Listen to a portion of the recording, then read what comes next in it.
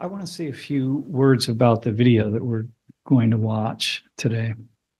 Uh, when we don't have class in 100 Thomas because I'm out of town, the stream team uses one of the hundreds of videos of past classes as material for the day.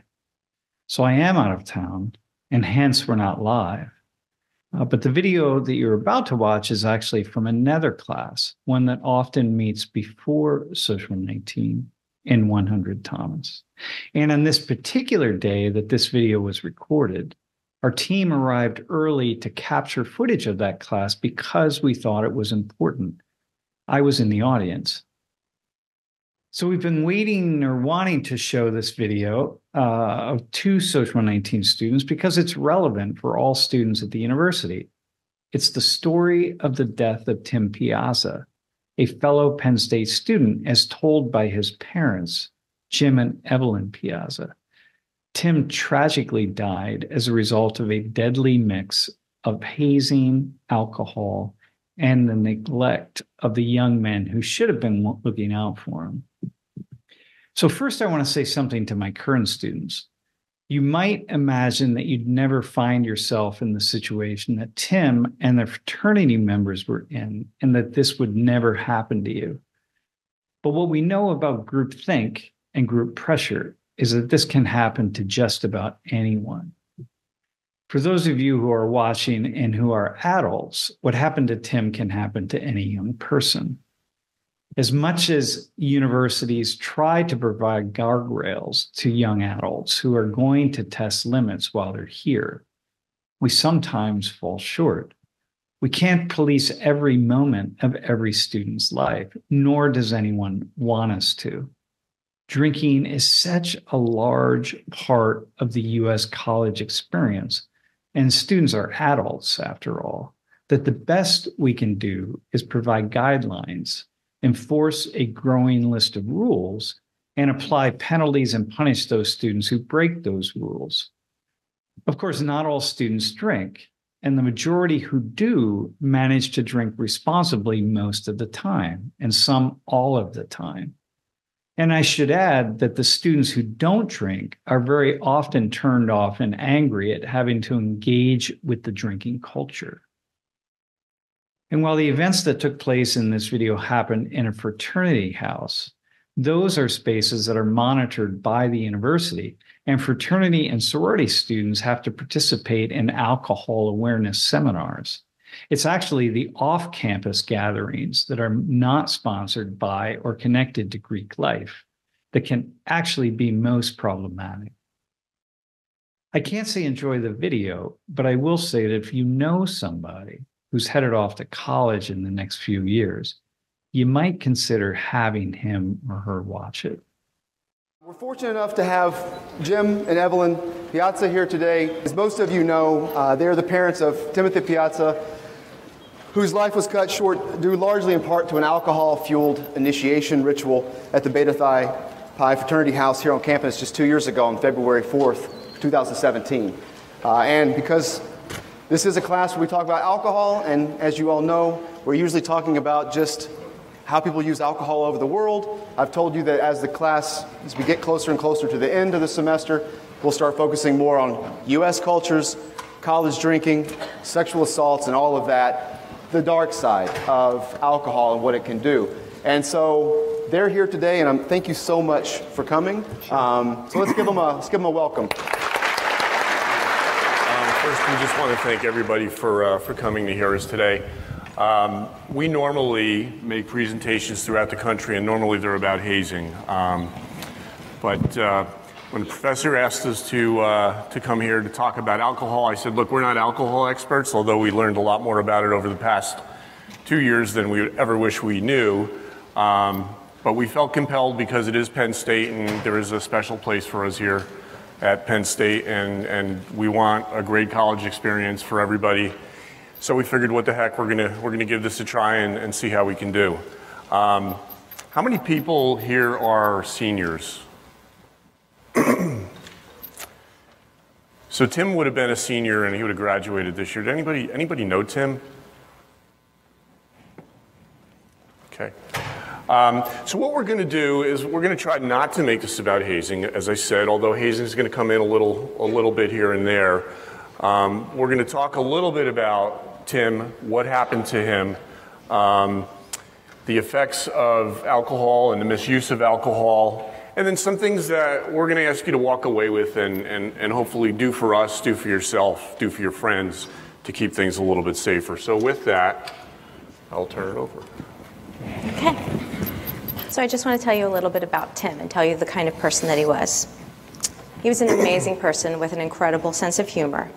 He was shy until he got to know you, and then he was larger than life. He was smart, athletic, loved Netflix and video games, and he kind of had his life figured out. He was going to major in mechanical engineering so he could have a career designing prosthetics, go to grad school, marry his high school sweetheart eventually, and just have fun with his brother and friends.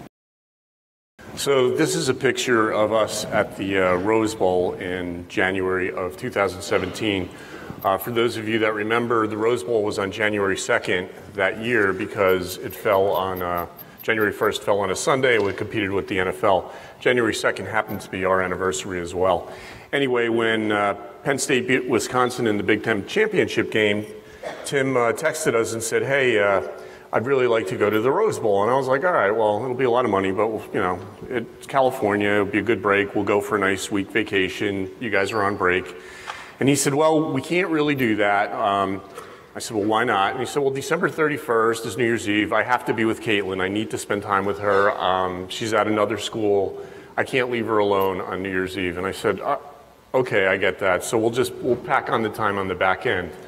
And he said, Well, I can't do that either. And I said, Well, why not? And he said, Because I have this internship and they're going to need me back at work. And meanwhile, this kid's between his freshman and sophomore year. I don't know how much he really need an intern, but I, I got to be back by Wednesday. And I was like, so wait a second. So you want to fly out on on Sunday, the day after New Year's Eve, so January 1st, and you want to basically fly home on Tuesday? That doesn't give us a lot of time in California. It's going to be very expensive. And he said, Yeah, I'd like to do that. Um, and he wasn't a kid that asked for very much, so I went along with it. It cost way more money than I would have liked to have spent, but it's the best money I ever spent because that was our last picture together as a family. Tim was a part of his girlfriend's family. He was the big brother to Caitlin's younger brother and sister, and he was there for them if they needed him or wanted him for anything. He was loved trusted, and appreciated more than he knew. They were and are still devastated by his death. And Tim was a big guy who took on the role of protector of his friends, or of anyone who needed it. He was a great friend, brother, and boyfriend. He brought lightness to any room, making people smile and laugh. My favorite picture is the one to the right. That to me is pure contentment. They truly were perfect for each other. So, you know, one of the reasons we're, we're talking about Tim so much um, is because Tim is just like all of you. He could be any one of you, any one of your siblings, any one of your friends.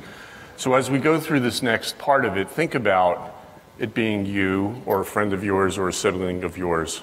Um, we want you to feel it because hopefully, when you feel it, you will make better decisions going forward. So, let me set the stage um, as to what happened to Tim. On February 2nd, 2017, which was 30 days after the Rose Bowl, um, Tim received a text message telling him to report to his fraternity house by 9:30 p.m. wearing khakis and a blazer. He was told not to be late and that they were going to get him fucked up. Once he got to the house, he and the other pledges were greeted with a small ceremony and they were handed a handle of vodka and were told that they had to finish it before moving on.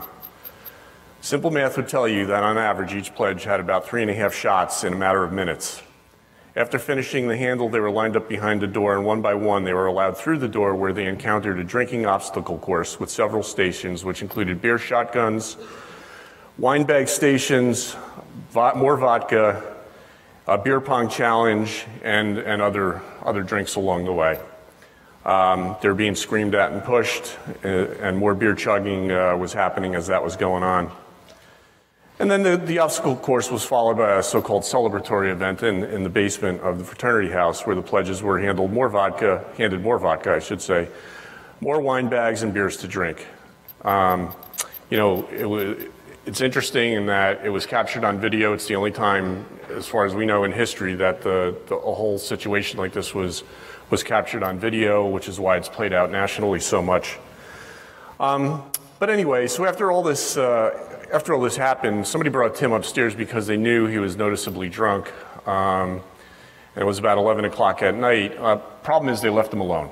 Um, so he actually tried to leave the house and, and, get out the front door, but he couldn't figure out how to open the door to the fraternity house.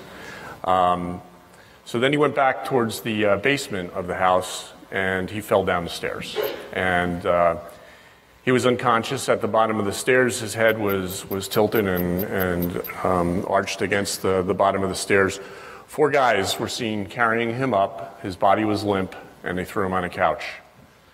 Throughout that night, they, uh, they kind of threw beer on him, they slapped him, they punched him, they threw shoes at him. Um, I guess figuring they would get him up. There were some people that knew he was seriously hurt, and they tried to get the others to call for help. Uh, but no one called for help. Um, in fact, uh, one person was essentially assaulted and thrown against the wall. I'm sure it's not news. You probably have heard about it. Um, and was told he better, he better not uh, call for help and he better just shut up. So, long story short, nobody called for help for Tim. Um, he vomited and, and and uh, was was having convulsions um, throughout you know a good portion of the night, and then finally, most of the uh, well, actually everybody else went to bed or left the house, and they left him downstairs by himself to I guess sleep it off. Um, during the course of the night, Tim came in and out of coherency. Uh, he walked around the house. He fell down a bunch more times. Um, and then he went back to the basement steps, and that's really the last time anything was seen of him in the video. He was found the next morning um, unconscious. Uh, his body was stiff, um, fetal position, uh, very difficult to move his, his, open his fingers or his hands, move his limbs. Um, they carried him back upstairs. And for about 45 minutes, they talked about, all right, well, what do we do now? This is clearly a problem.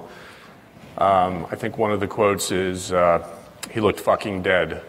Um, but they waited 45 more minutes. Um, finally, they called 911. Uh, 911 came. They never told 911 about the fall, um, about any of the injuries. Uh, they just said he had, he had been drinking a bit. Uh, so then he was taken to the hospital, and uh, from there I will let my wife take it. So, who here has a brother or sister close in age to you? Close enough to be in college at the same time. If not, consider your best friend and consider that you're both going to the same college. Now, close your eyes and imagine that your brother's pledging a fraternity and it started last night. You get a call from your brother's roommate saying he didn't come home last night, and that's not like him. He always comes home. You decide something's wrong and call the hospital to see if he's there. They say, Yes, there's been an accident. Come right away. You rush to the hospital and see your brother on life support, neck brace, bruises and blood on his body and head, eyes half open. The doctor tells you it's bad, that he has a subdural hematoma, which is bleeding in his brain. His spleen is ruptured. He has a punctured lung, and he needs a blood transfusion because, as it turns out, 80% of his body's blood is in his abdomen. You have to call your mom to tell her that the doctor's going to call but that your parents need to come right now. You tell her what little information you know that it was the first night of pledging and that he fell down the stairs. They need to medevac him to a trauma hospital one and a half hours away, Hershey Medical Center, for, for neurosurgery immediately. You talk to him even though he's unconscious. You tell him to hang in there, that you are proud of him, and that you love him. A tear rolls down his cheek, you think he heard you. And then they take him away. Now, picture your mom and dad getting that phone call, as well as the call from the ER doctor. The doctor says he's a very sick boy, but they don't understand what he's hinting at that their son is dying. It doesn't click. Both mom and dad have to drive 45 excruciating minutes to get home, to pack bags, and then drive over two hours to get to the hospital where he'll be having surgery. Your dad says, This better not have anything to do with that fraternity. And your mom tells him, It was the first night of pledging. They call the police to find out what's happened. There's not a lot of information, but they say he fell down the steps once, maybe twice. They get to the hospital and feel sick when they see the helicopter still sitting outside. They rush in and have to wait in the surgical waiting room. Finally, someone comes to take them to surgical ICU to meet with the surgeons. It turns out this man is a chaplain, but they don't know why a chaplain was sent to get them. It doesn't click. In a small room, a surgeon and a nurse tell them that their son's brain injury is non recoverable. They feel the world stop. Another surgeon comes in and says that once the skull was removed to release the pressure on the brain, the brain kept swelling outside of the skull, and that this is considered brain death. They try to comprehend what's happening. He's brain dead. How can this be? He's still on life support. Is there any hope for recovery? No. They have tests to prove brain death, but they can't be done because of his other injuries. You get a ride with your roommate to the hospital and find out how bad it is from your parents. You try to be the strong one. His girlfriend comes with her dad. They have to tell her that the boy she loves is brain dead. You all cry together. Then you finally get to see him. The only skin showing is his shoulders. He's covered with blankets to keep him warm, but his body won't warm up. His head is covered with a white gauze stocking cap to cover the bandages from having his skull removed to release the pressure on the brain from the bleeding. And he's got bruises and swelling on his face. He's on a ventilator. There are IVs everywhere and machines monitoring his oxygen level and body temperature. They need to put chest tubes in his lungs because his oxygen level is dropping. They think he aspirated on vomit. The doctors and nurses tell you that they are doing everything they can, but that it's just a matter of time. He's going to go into cardiac arrest.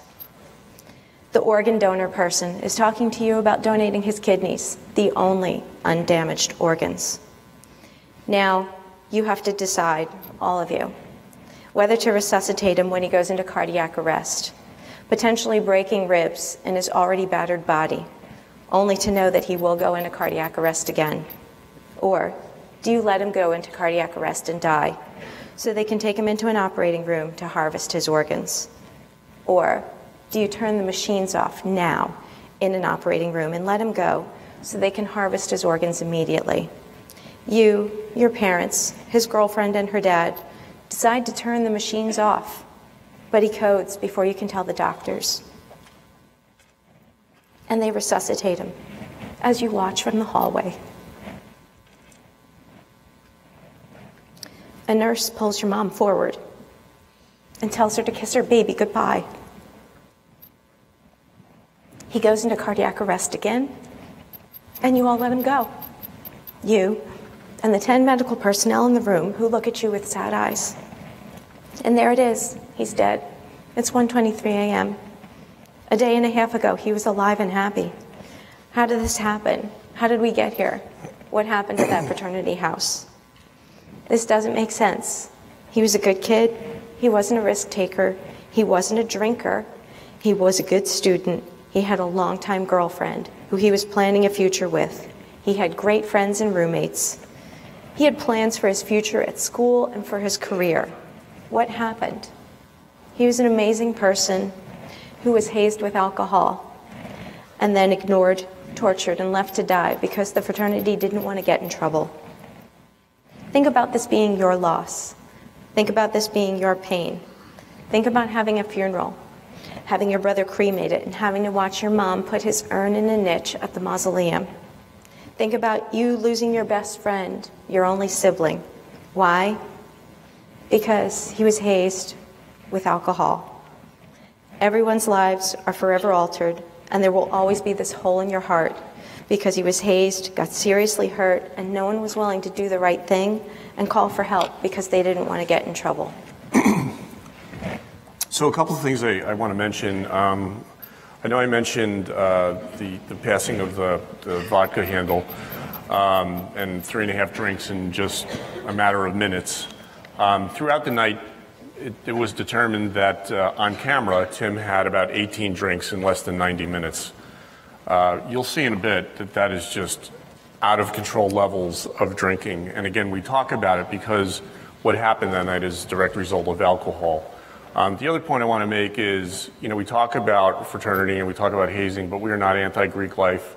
Um, we just, again, we go around the country talking to fraternities and sororities to try to make things safer. Um, so for those of you that are in Greek life, this is not an attack on you. Um, so, you know, alcohol, obviously, you guys have learned a lot about it over the, the course of uh, this semester. Um, you know, it's, it's, it's often used recreationally. Um, it, uh, it could lighten your mood, it could relax you, it could decrease anxiety. I mean, I'll have a drink. Uh, you know, I'm not, uh, I'm not immune from it, so I will have a drink. Um, in small doses, uh, it, you know, it certainly can relax you and ease your tensions, but it's also uh, accompanied as you drink more and more, it reduces your inhibitions. So your, your, your ability to stop yourself from doing something that you know you shouldn't um, is kind of diminished.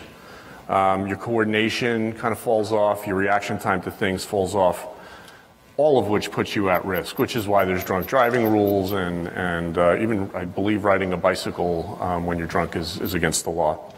Some of the other uh, social effects of, of alcohol use and abuse are unprotected sex, pregnancies, um, sexually transmitted diseases, date rape, um, these are prevalent things on a college campus. Up to two thirds of the date rape cases involve alcohol as I said, it could change your behavior. It changes the way you think. It, it can make you loud. It can make you belligerent, um, offensive, uh, cause you to get into fights. Um, it will just change the way you interact with people um, if you drink too much alcohol.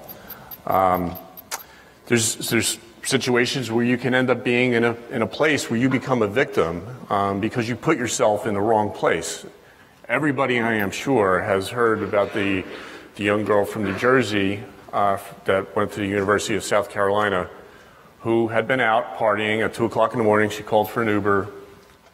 She got in the wrong car and uh, she got killed. That happens. That's reality. These, these things can happen from improper use of alcohol, and that's why we're here today.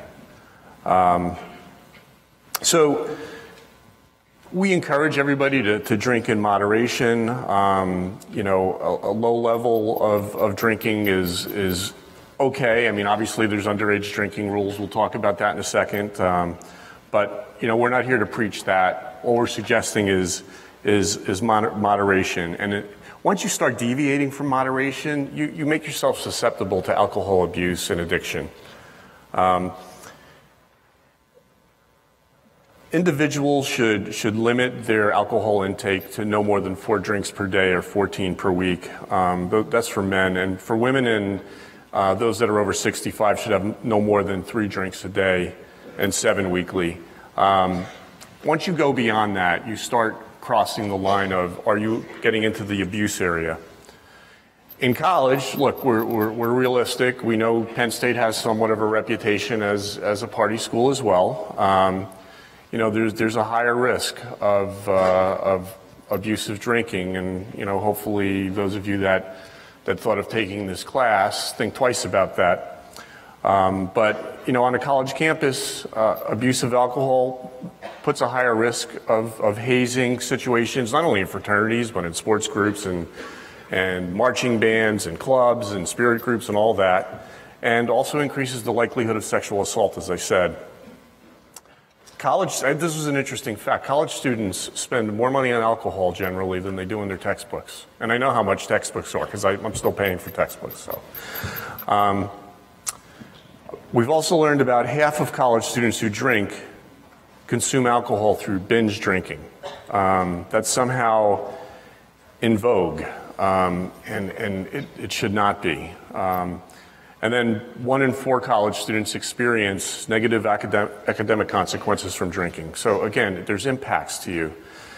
And then, you know, there, then you get into alcohol abuse and uh, disorder, alcohol use disorder. Um, that comes with drinking alone. Um, It could result in problems at school, at work. Um, you'll have cravings for alcohol, and if you do, that's when you need to start seeking help. Um, if you start feeling withdrawal symptoms from, from drinking alcohol, uh, you could have financial problems because, again, you're spending a lot of money on alcohol instead of food, um, you know, your schoolwork and other things. You could have health problems. It damages your liver and other organs. Um, if you start lying about how much you're drinking, you need to step back and think, why am I lying? Why am I not telling the truth about how much I'm drinking? It's because maybe there's a problem. Um, and then, as we well know, alcohol can kill. Um, about 1,800 college students uh, die from alcohol related injuries every year. Each year, approximately 5,000 people under the age of 21 die as a result of underage drinking. This includes about 1,900 deaths from car accidents, 1,800 homicides, uh, 300 suicides, and hundreds of other deaths due to accidents like falls, burns, drownings. I know people who, uh, we live near the Jersey Shore, um, who have gotten drunk and thought it would be cool to go swimming at night at the Jersey Shore and never made it out. Their thinking was impaired. It's not a good idea to go into the ocean, at least in New Jersey, where there's heavy waves and undertow, when you're drunk and it's, and it's light, it's dark out and you, people can't see you. So we ask you to take that into consideration. Also, um, a lot of deaths are just a result of alcohol poisoning because people don't know how much they took in, or asphyxiation, they swallowed their own vomit. so, use of hard alcohol, that, that seems to be you know, the alcohol of choice, um, especially as it relates to, to, to, hazing situations, most of the deaths that occur as a result of hazing situations are from alcohol. We usually have a slide up with all the deaths that have occurred over the past uh, 20 years or so, and most of, almost all of them are alcohol related, and there's a lot of names on that, on that list. Um, you know, mixing is another common situation, especially uh, in coerced type of situations where individuals are, are given um, all different types of alcohol, um, you know, hard alcohol, beer, wine. First of all, they all interact with each other, um, and normally it will make you sick to your stomach. But also, you don't really know then how much you're drinking because you don't know, uh, you know, did you have uh, an amount of wine which can, is considered one drink or two or three drinks? Did you have a shot that is considered one drink, two or three drinks. So you really don't know when you start mixing all these alcohols how much you're having. Um, and then there's the quantity. I mean, when you're using handles and wine bags and um, chugging from a keg and things like that, you really don't know how much you're taking in. Um, we'll see on, on tables in, in a little bit uh, what you know how your blood alcohol con- uh, concentration goes up and and how it comes down. But um, you know, the, the important thing that I want everybody to walk away with, binge drinking, I guess it seems to be in vogue, but it's not a good thing to do. You're putting yourself at risk. Your friends are being put at risk. Your siblings are put at risk. We don't want anything to happen to any of you, your friends, or your siblings like what happened to our son. Um, the other thing is that alcohol abuse is often a gateway to, uh, to other abuse and addictions as well. And again, we, we would like to, to see that stopped. The NIC just recently um, put a ban on uh, hard alcohol, the North American Interfraternity Conference. They did that because they realized that most of the deaths and, and harmful situations are created from, from hard alcohol. Um, so it's important to, to, to, to be mindful of how much intake you have when you're drinking. Um, a high number of college student situations that end up in the hospital are, are as a result of binge drinking. So, again, we ask you to be mindful of that. So, this is a chart just to show you what a standard drink size is. So, for a beer, it's a 12 ounce beer. A glass of wine is 5 ounces a cooler, and I don't know how often wine coolers are in vogue anymore. They were years ago, maybe not so much now, but that's 12 ounces. Um, a shot is one and a half ounces, and spirits are like a one and a half ounces. Um, the, the alcohol content is also like a beer is four to five percent, cooler four to five percent, wine 10 to 12 percent. A shot and spirits are 40 percent alcohol, which translates to 80 proof. And it's customary, well, customary beverage serving sizes in restaurants and bars don't necessarily conform to standard drink sizes. So a mixed cocktail, for example, may contain the alcohol of three different standard drinks. So you're getting a lot of alcohol at one point. And then there's grain alcohol. And I know that this was big in college when I went to college. And I remember hearing about, you know, grain alcohol punch in a trash can. And grain alcohol is a clear liquid with no color, smell, or taste. However, it does have a harsh aftertaste, according to consumers. It can burn the throat and even lead to coughing. Um, sometimes grain alcohol is purified to the point that it's used as rubbing alcohol. So you're essentially drinking rubbing alcohol. Uh, a popular brand of grain alcohol is called Everclear, and it's 95% alcohol content, which is 190 proof. It is one of the purest and most potent alcohol beverages available. It's so dangerous that some states have outlawed its sale and consumption. And just as a side note, um, Max Gruver died from hazing uh, September 2017 after Tim. And we are friends with his parents now. And what they gave him was something called diesel, which was 190 proof. And they made him chug diesel. At his time of death, the day later, when they took his BAC, he was like 0.495. And that was after he was already dead. So that just goes to show you that you need to stay away from grain alcohol because it is just dangerous. So, like I said, Everclear is more than twice the proof of most standard hard liquor. The liver processes about one serving of alcohol an hour. Binge drinking is four to five servings of alcohol in a two hour period.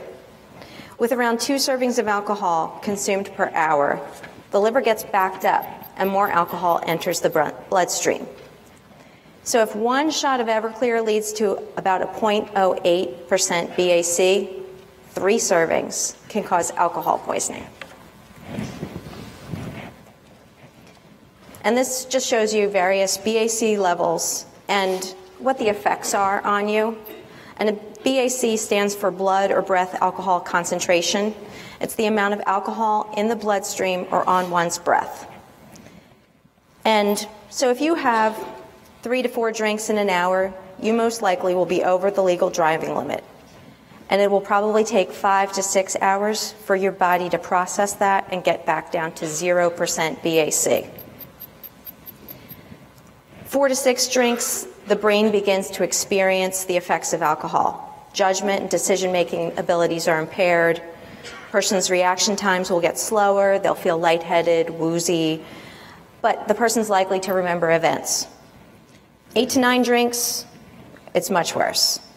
Reaction times are very much slowed, speech slurs, vision may change, you might have double vision, loss of focus, and a hangover is likely to set in. 10 to 12 drinks, coordination is severely impaired and the risk of an accident or personal injury is very high.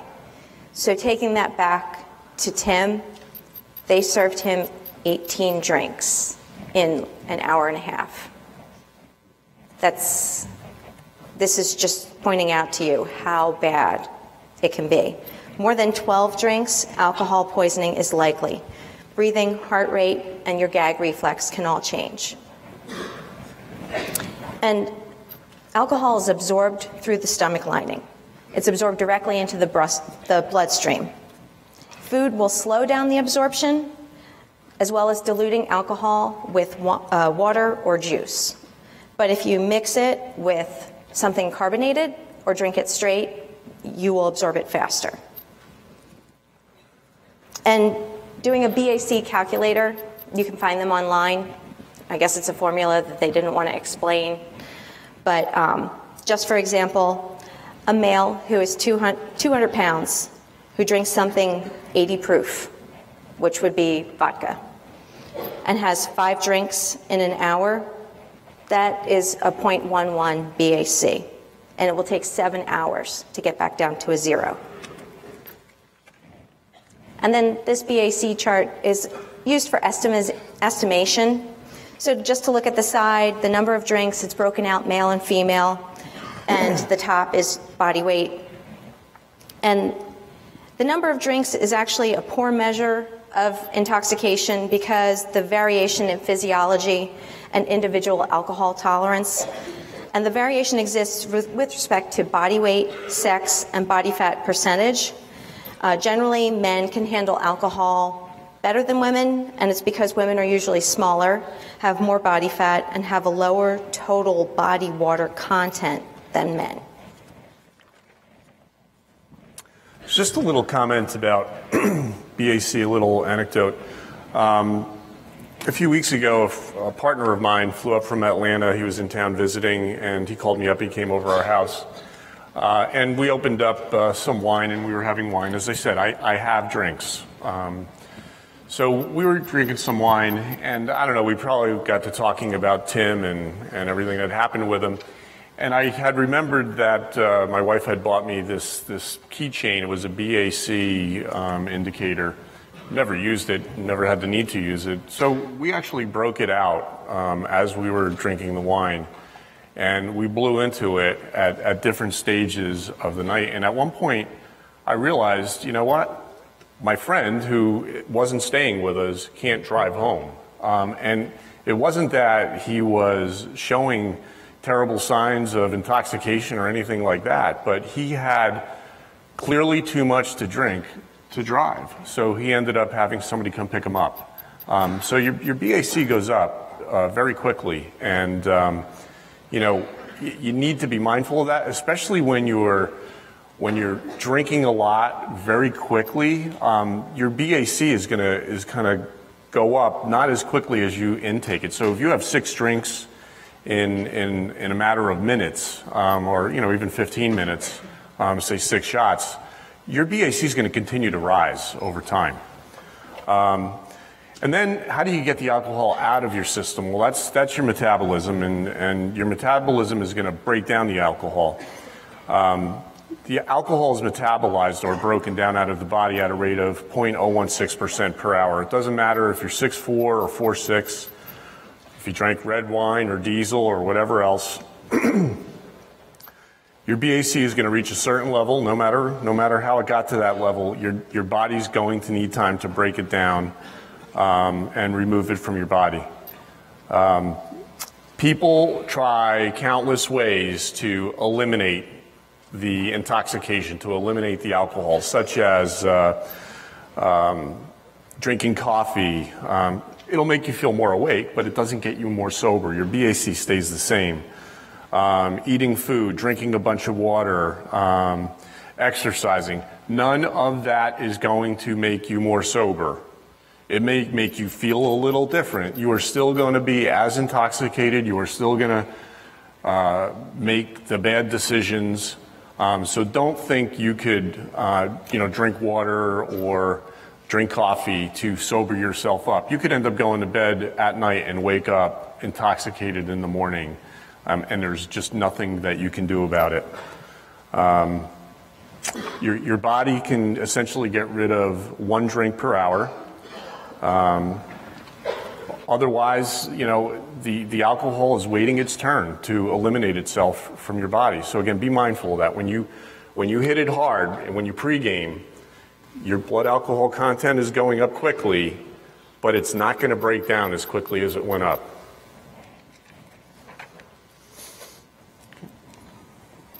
So, the effects of the abuse of alcohol and binge drinking number one, you drink heavily, you're going to have a hangover.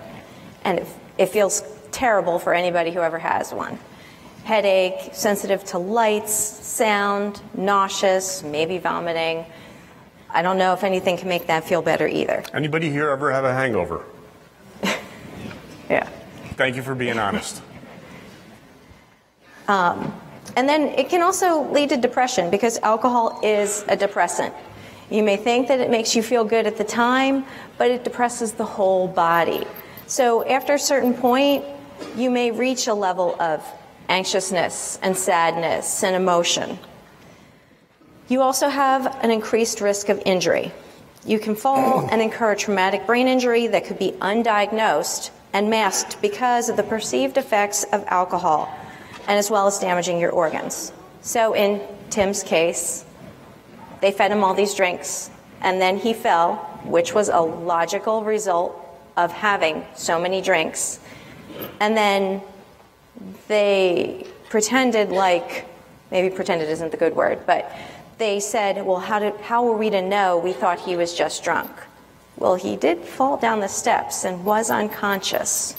So you have to be aware that these are results that can happen for you or anybody around you. Vomiting is really too much poison in the body. You can have severe dehydration from vomiting too, which can lead to dangerously low blood pressure and a fast heart rate. And for me, vomiting is like my kryptonite. I'm good with an open wound, nosebleed, I can handle that. Tell me you feel like you're going to throw up, and I lose feeling in my arms.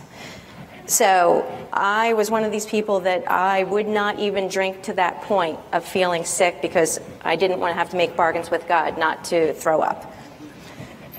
Um, now I'm going to reverse blacking out and browning out just because blacking out says so much.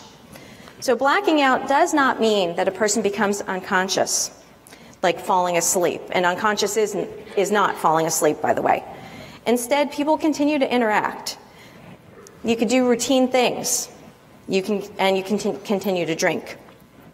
People who black out may drive themselves home, engage in sexual encounters, destroy property, spend too much money, uh, choose other risky behaviors. And people who are blackout drunk are more likely to physically injure themselves. They've been known to walk home, brush their teeth, eat meals, go through normal behaviors, but they don't remember these behaviors because their brain doesn't move those experiences to memory. Once the person begins to sober up, the brain will begin to process memories normally again. But if blackouts become a common occurrence, the brain may have a harder time developing memories and retaining them. So heavy drinking can basically cause irreversible brain damage. And it is possible to pass out while experiencing a blackout. A person who's exhibiting unusual, risky behavior or who passes out while drinking needs medical attention to prevent alcohol poisoning, and 911 should be called. Experiencing a blackout after drinking does not mean that a person has a substance abuse problem, but it does mean that they drank more than their body could process over the course of a day or an evening. People who often complain about memory loss or blacking out after drinking are more likely to have alcohol use disorder, indicated by the fact that they consume alcohol on a regular basis, not that they experience blackouts. However, people who black out frequently from drinking too much are also likely to have a higher tolerance to alcohol. So their BAC will often be higher than a 0.15 when they experience a blackout.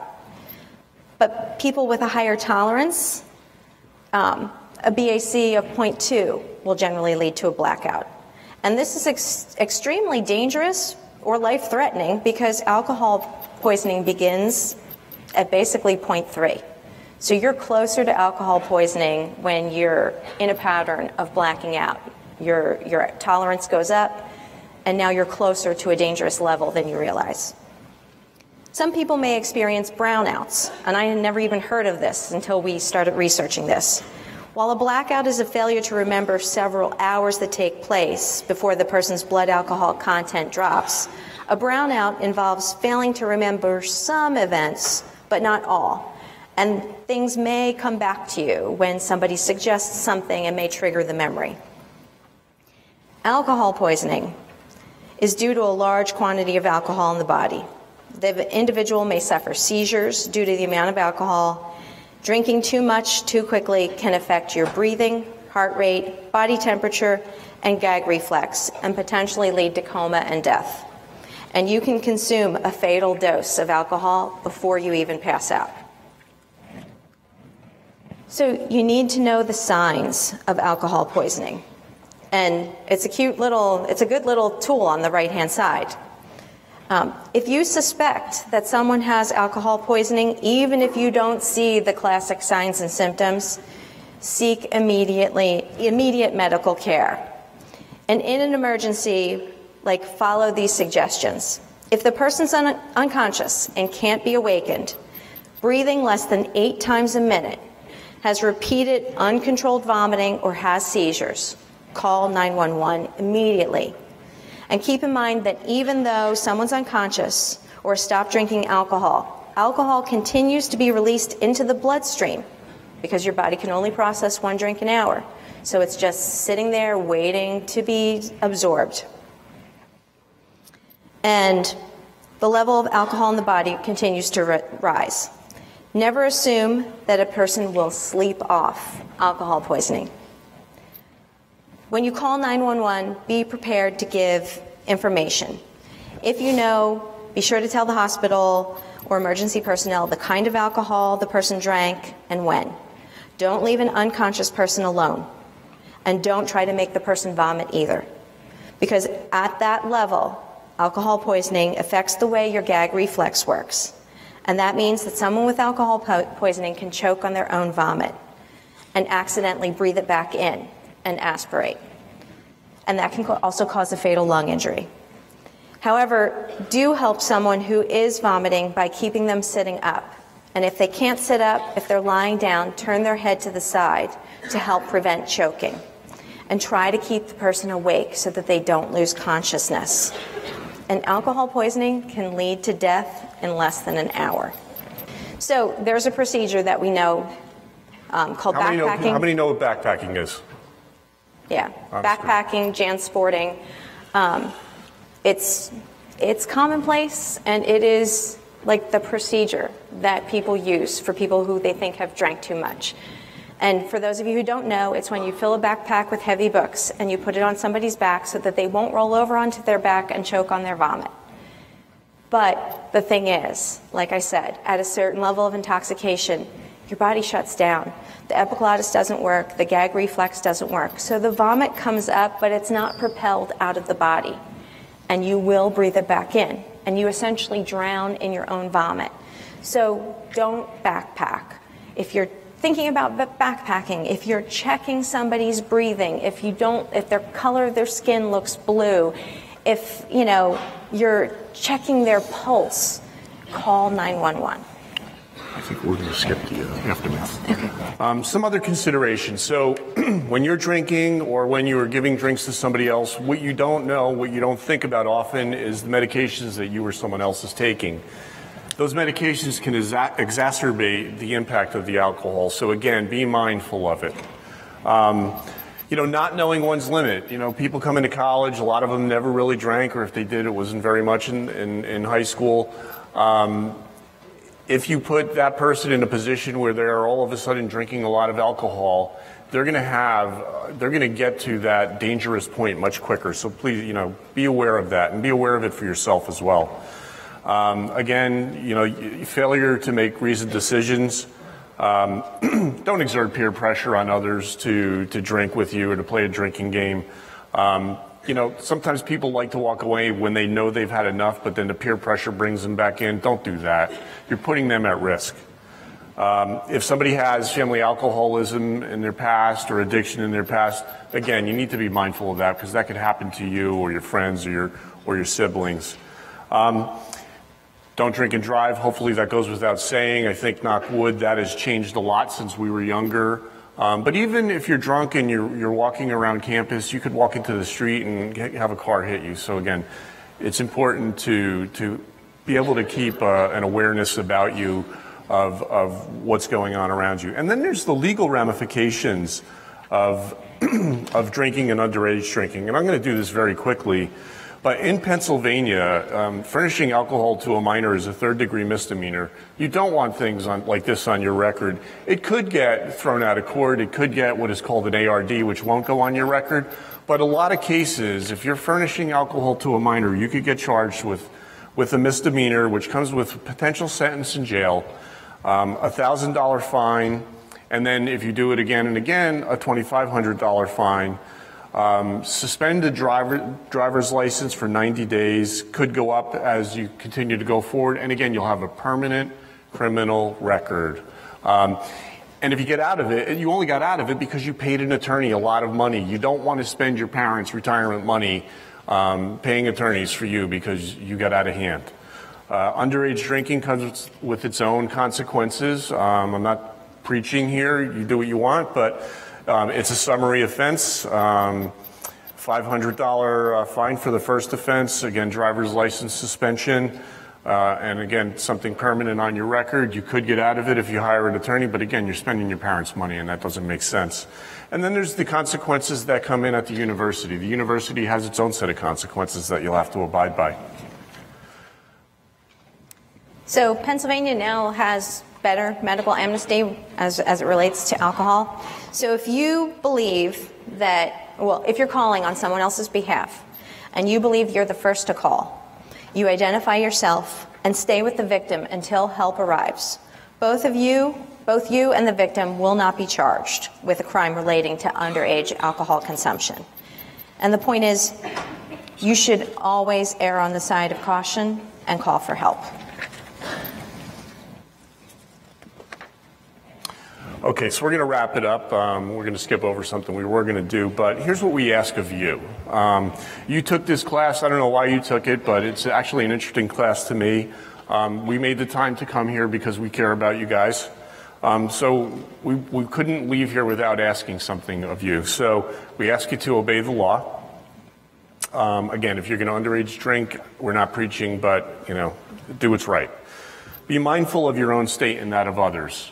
Um, if you've had too much, cut yourself off. If your friend had too much, cut them off. Don't put peer pressure on them. Um, don't pressure anyone to drink. You could be putting them in a dangerous state. Know the signs and stages of intoxication. By all means, don't backpack. It doesn't work. Um, there's an individual that died at Lafayette University, not from hazing, um, just heavy binge drinking. They backpacked him. He died. Um, don't let someone sleep it off. Call for help. Don't be a bystander. You could save someone's life. You will be very happy if you did that. And I can assure you, if you knew you had the opportunity to and you didn't, and somebody died or got really hurt, you'd be very sad and upset, and you don't want to live with that. So thank you very much for your time.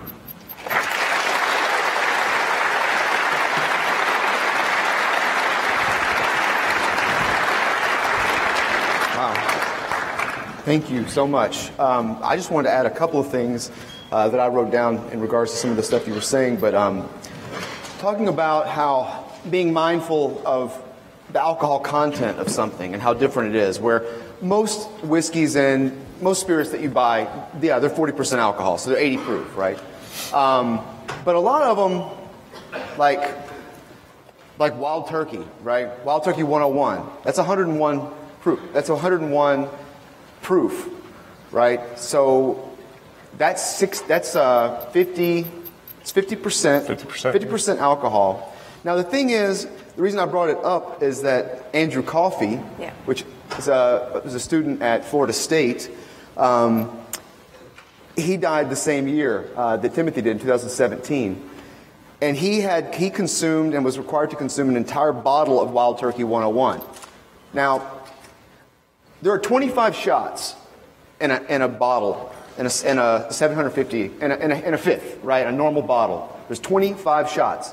But that's 20, that's 25 shots of alcohol based on a 40% alcohol, an 80 proof. This is 100. This is the equivalent. He, he had the equivalent of 44 shots. His blood alcohol, 0.558 it's but it, that's about i mean drink okay drinking a fifth of anything is a bad idea okay? I mean that's stupid. But the point is this is looking at these alcohol and the same thing with um, Gruver with drinking the the uh, the everclear right? And so but the, I know, another thing i wanted to bring up too um, we were also talking about just alcohol related deaths.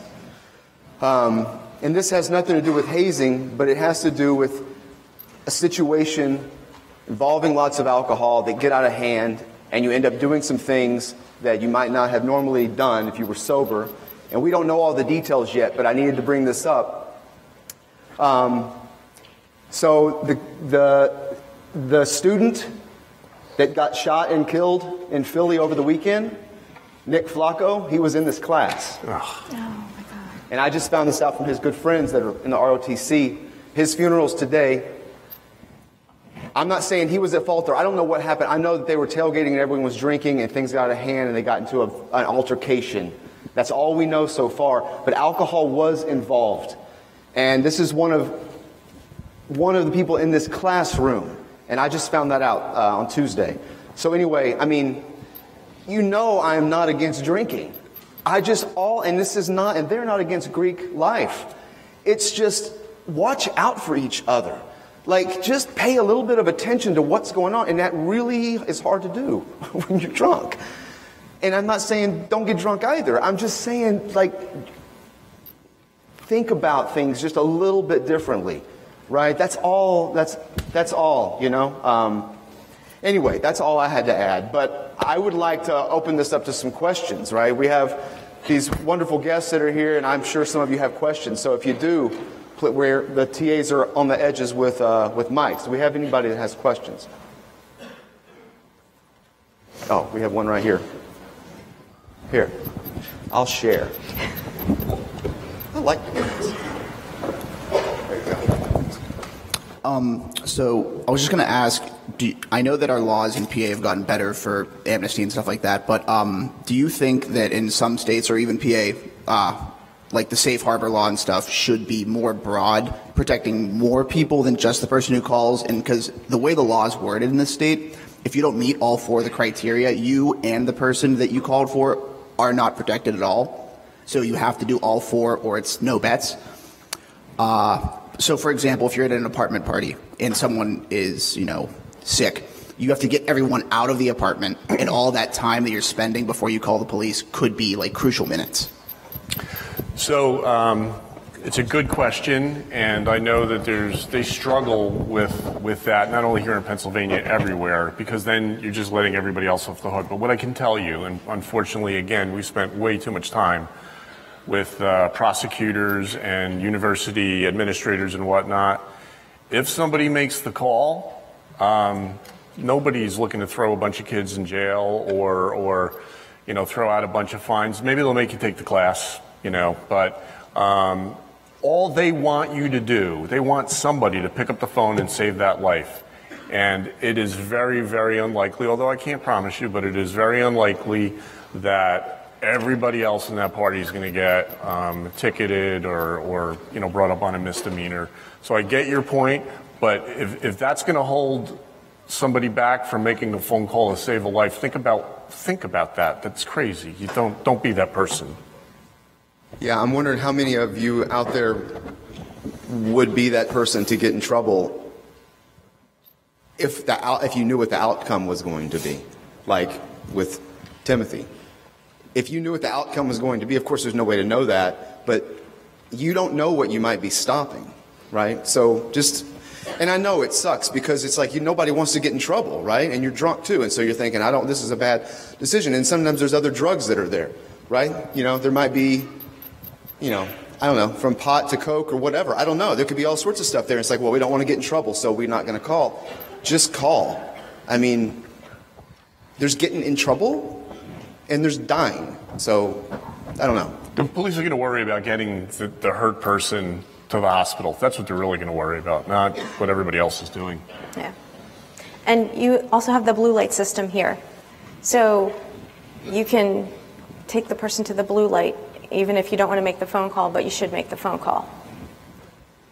Uh, would you say that since what happened to Timothy, if you think in general, if events like those huge frat parties with lots of binge drinking and hazing and underage drinking, do you think incidents like those have gotten better since then and they're happening less and less, or have they gotten worse? Well, um, So, was it yesterday we were here? No, two days ago, we were in uh, Bellefonte for uh, a sentencing hearing for four of the individuals uh, in Tim's case. Um, If anybody's paying attention, three uh, got jail time and one got house arrest. Um, But when we were there, the detective that, that did most of the work on the case was there, and I asked him, I said, well, how are things on campus? And he said, um, it seems like things have calmed down quite a bit. They're not perfect, um, but they've calmed down quite a bit. So I'm hopeful that uh, people are listening and paying attention um, and being a little bit smarter. I think it's going to take time to change uh, behavior and culture, but um, I, I do think it's getting a little bit better based upon, you know, validation from uh, from the detective, based upon some validation I've gotten from President Barron. Um, but you guys probably know better than me if it's gotten better. And that's here. But already in 2019, there have been two hazing deaths and one more that just happened last weekend that's under investigation as a potential hazing death from Georgia Tech, a football player. One of those was because of alcohol and forced consumption. One was sleep deprivation, and we're thinking the one last week was a physical thing. So it's still happening in terms of hazing and fraternity parties and, and initiation. Hopefully, it will slow down. Which is why schools are having us come and talk to their students. They they want that message to get out. Well, she's doing that. The one thing you, you, you touched on something, uh, and I meant to say it earlier, is, is a lot of times when you're drinking and you've had too much, and, and I've experienced this in my own life with some of my uh, with some of my own friends. Um, you know, you get this bravado about you, like you could take on the world, and um, um, may have happened with with the Flacco situation, and I'm so sorry to hear that. You know, he was part of this class and even this university. Um, but I've I've been in situations where my friends got this bravado on with with other people, and frankly, they got their their their butts beaten in um, by by people because they just they thought they could take on the world. So it, it's not a smart thing, especially if you're intoxicated. Your reaction time is is slowed down. So you know, somebody's throwing a punch at you, you're not going to be able to react to it as quickly. Yeah. Yeah, sorry. Um, just after everything that happened, why aren't you guys against Greek life? I'm sorry. What was that? After everything that happened, why aren't we against Greek life? Why are we against Greek life? Why, Uh, why, oh, why are you not? Yeah. Do you want to answer? Or you? Well, we could both answer. Um, well, it's first of all, hazing is not just Greek life. It's in marching bands, it's in spirit groups, it's in sports. I mean, how many times over the past year have we read about high school sports? And apparently, in high school, because they don't have hard alcohol at their disposal, they're using things like broom handles and sexually assaulting people. Um, so it's happening everywhere. And we've seen Greek life work. We know people, other parents who, like the mother of Max Gruver, she was in a sorority, loved it, was never hazed, didn't even know anything about it. Um, we've seen it work, we've seen good things happen, good groups. I can see how it would be your network for the rest of your life. You know, these are friends, these are contacts for business. So it is possible to have a good experience. You just need to eliminate the hazing from that. Yeah, I mean, my first reaction was take it down. I'll be honest with you. I wasn't in Greek life. My first reaction was take it down. Um, and I thought about it, well, you know, it'd be pretty hard for me to take it down by myself. But, um, you know, I, I am all about networking, and especially in a business career. Um, it's so important, and I do see the, val- the validity of being in Greek life from a networking perspective.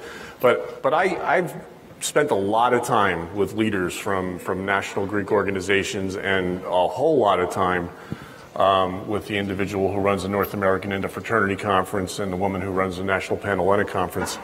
Um, and, uh, you know, they're, they're my strongest allies right now in what we're trying to do, this crusade we're going on. They don't want the bad behavior any more than we do. Um, so, you know, I said to them, I said, look, if you screw me, I'm going after you. But um, they have they have far from done that. They have been uh, so in line with everything we are trying to accomplish because they want the same things. They They want Greek life to thrive and they want people to be safe. Nobody wants 18 to 21 year old students dying or getting hurt and going to the hospital. Nobody. And these, um, I mean, initiations are important, right? From, uh, from a cultural anthropological standpoint, they're extremely important, right? It's a ritual or ceremony from when an individual moves from one group to another, right? There's a transformation that happens. A bar mitzvah, getting your hair cut in the military. I mean, all these things are, these are these, these rites of passage that you go through, and they're important. And there's even evidence that shows that um, th- there's a level of what's called cognitive dissonance that happens in this, where people that go through those things together, they have a tighter bond with each other because they went through that, right? And so it makes sense. But initi- initiations don't have to be life threatening.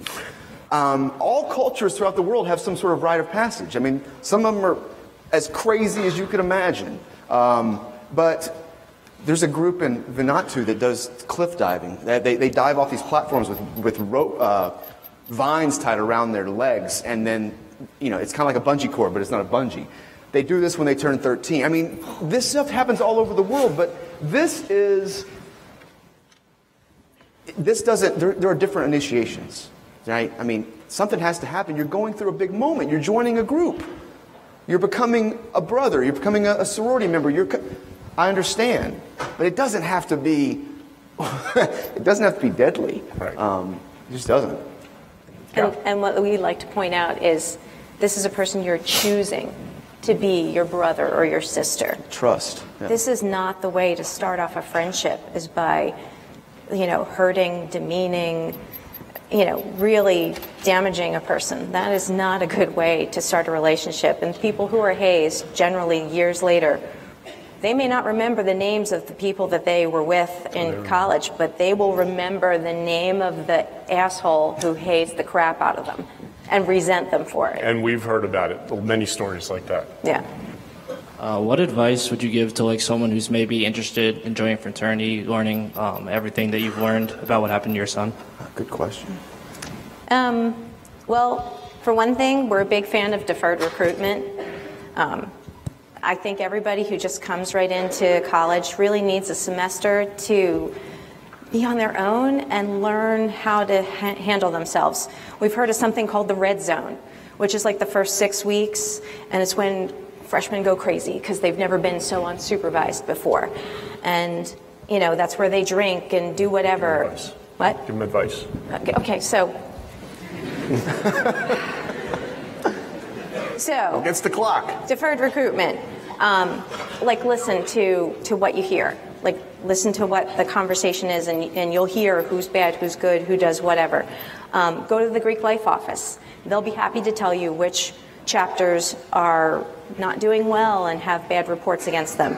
If the school, like this one, now has a report card, um, check the report card and see what the violations are. Um, talk to your parents.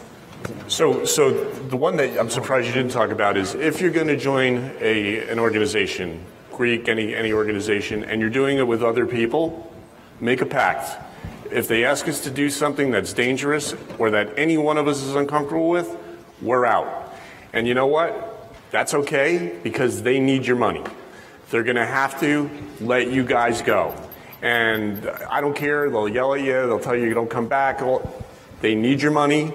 So if you all walk together, um, you'll be back the next day and it'll be a different feeling. So for me, that's the number one thing. Yeah. Have a pact when you go into it. I want to sincerely thank you two uh, for taking the time to do this. I know it's never easy. Um, I was a mess over here.